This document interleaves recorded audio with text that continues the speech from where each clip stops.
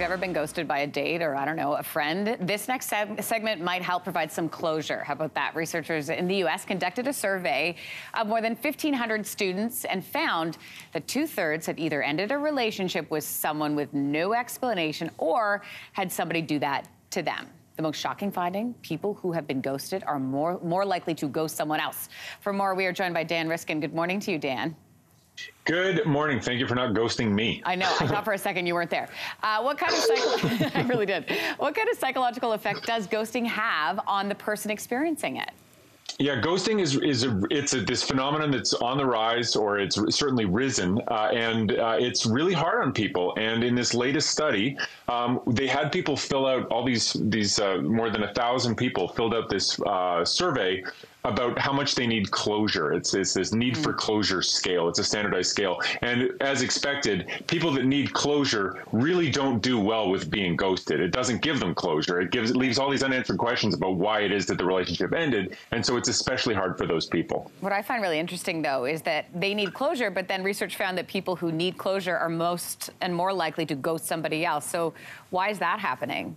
Yeah, and so that's what the researchers were shocked by. So they expected that if you're a person that needs closure, you don't like being ghosted, but you also won't ghost other people because there's no closure there, right. right. It's like you never have that final conversation to settle out what the problems were. You just cut off communication. Um, but what they found from their data was it, the people that need closure the most are the people who are most likely to ghost. And so there are a lot of different interpretations of why that might be. They were surprised by it. They think that it has to do with uh, perhaps just having a sense of control over the situation So mm-hmm. closure is one way to feel like agency about what's going on. And when you're the ghoster, mm-hmm. you've got total control over over how that relationship ended. Maybe that sort of feeds what uh, you know the, the psychological needs that drive that need for closure. But it was a surprise for them, and yeah. it's part of this ecosystem of relationships that's really changed in the last little while.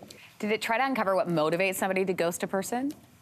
Yeah, they went into that. So, so there are a few different things that sort of cause a person to ghost, and uh, one is that uh, maybe the the uh, seriousness of the relationship or the casualness has changed. Maybe it's suddenly become very, very intense, or maybe it's just sort of you drifted apart and you think it's not a big deal to ghost that person. Um, there's also sometimes, you know, the, the, dark side of it is sometimes the person doesn't feel safe, and so they cut off communications for that reason.